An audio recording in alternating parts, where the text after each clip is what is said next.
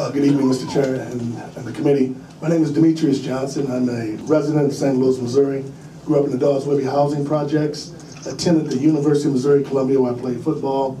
I was drafted by the Detroit Lions where I played there for years. I'm now a national sales manager for Covidien uh, in St. Louis. Um, the program that I'm here to speak about, I, and I'm gonna make this clear. I mean, if any of you know me or know of me, I'm very blunt and candid about what I'm here for. I don't. I'm not here to represent Democrats or Republicans, the parties. I'm here to represent the young black men and young black boys in the street of St. Louis. When you look at all the, the issues that we have going on in our community in St. Louis, it's devastating.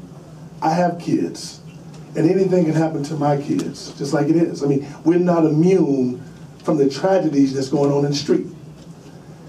My foundation being able to partner with the District Council 58 Painters Union is just tremendous.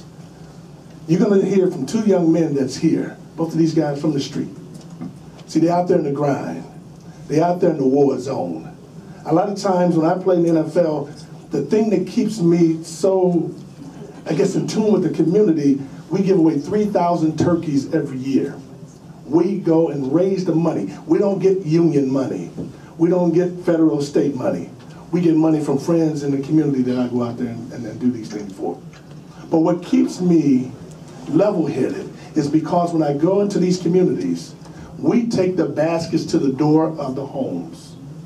And it keeps us real and get us understanding that there are folks in the community who is truly suffering, who truly don't have anything to hope for sometimes when you're up in this in this community here, this political, I'm not used to the political ring arena that I'm in today. But I'm gonna tell you something. Sometimes you can be in this arena and forget about the other, the true arena. That's the constituents out there in the street who's going through all these problems. The, the tragedies that these young men and women are facing in my community, I can't speak of no one else's community. I can speak of mine. I don't have to do what I do in that community. When I woke up this morning, put on my clothes, and got in the car, drove up here, you know what I was thinking? I had a great life. Life has been good to me. My kids are in college, kids out of college, have a great job. I don't need to ask any one of you for nothing up here. That makes me feel good because it's independence. But when I hear the situation, I'm just here to talk about the program, the Council 58 District Council, what they're doing for these young men. It's a 14-week program. It's a five-day, eight, five week, five days a week program. They are there at 6.30 in the morning. They do not leave until 3.30 in the afternoon and they don't get a dime. But we always want to talk about our young black youth are lazy. They don't want to do anything for themselves. They don't want no chances out in the street. But let me tell you something. You got folks down there that's there at 6 o'clock every morning. And they don't leave until 4.30 every day. And they don't get paid a dime. I guarantee you, none of you be here at 6 o'clock in the morning. You wouldn't get paid. Guarantee you that. but I'm telling you, we got some young folks that want to do that. Johnson, we're under some real-time Yes, sir. I just, I just need to let you, yes, sir, Chairman. I just need everybody to understand the program that the District Council 58 has allowed these young men to take part in is tremendous. You don't have to worry about these young men anymore on the street doing nothing because they're going to do their best to take care of their family. They want the same dream that every one of you up here want and everyone in the back. Safe, equitable, fairness, and an opportunity to provide for their family. Thank you, Mr. Chair and the committee. Thank you, sir. I can allow three minutes each from this point forward, ladies and gentlemen. Understandable. How you doing, Mr. Chairman and the committee? My name is Ronaldo Ward, 33 of age. Um, I'll be brief uh, about myself. Um, used to be out in the streets. Uh, I only uh, made it through uh, my uh, third year in, in uh, high school.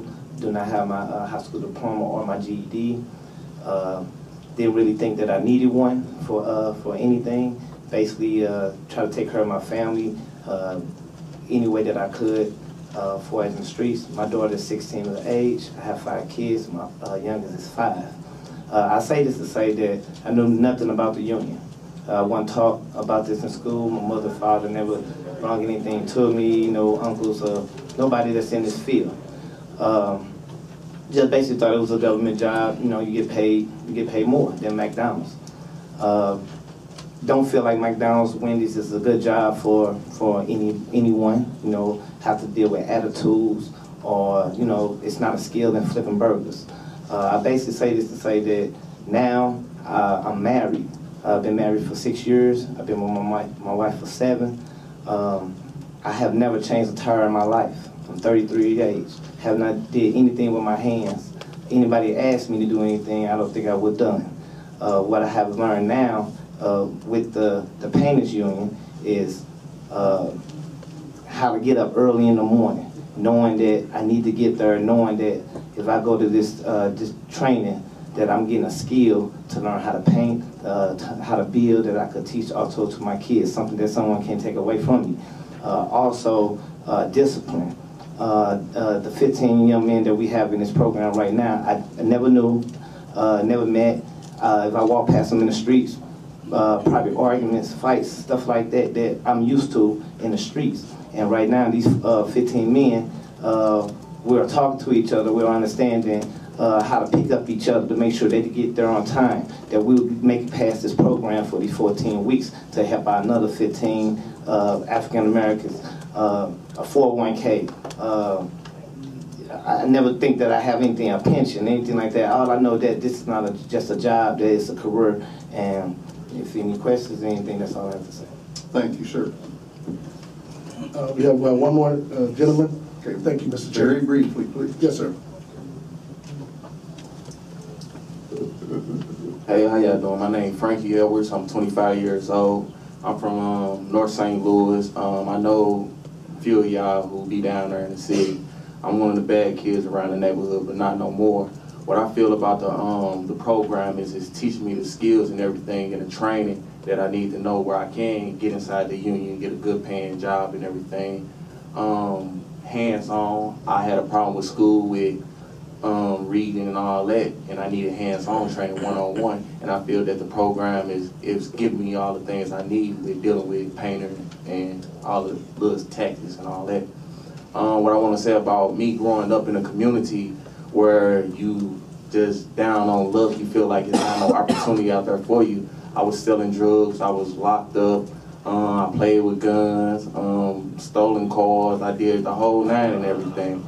But dealing with um, Demetrius Charitable Foundation, when he talked to me about the program, it uh, it opened my eyes, and I got two kids, two boys, and everything. I want I want the best for my kids, even if I can't enjoy the things that I'm working for. I want my kids to enjoy them. So I um, salute the um, Union, Council 58, and Demetria Johnson, and also the other people inside the community that are helping us because this program it will stop a lot of things if you believe it or not. And I'm speaking on behalf of the people my age and the generation for us to get inside and get these opportunities, get the opportunities that everybody else is getting. Say like dealing with this program, they see me working in the um, program and they see the other 14 gentlemen inside the program. They're like, dang, so you was going to school for free, doing all that training. Now you getting paid. Now you got this and that.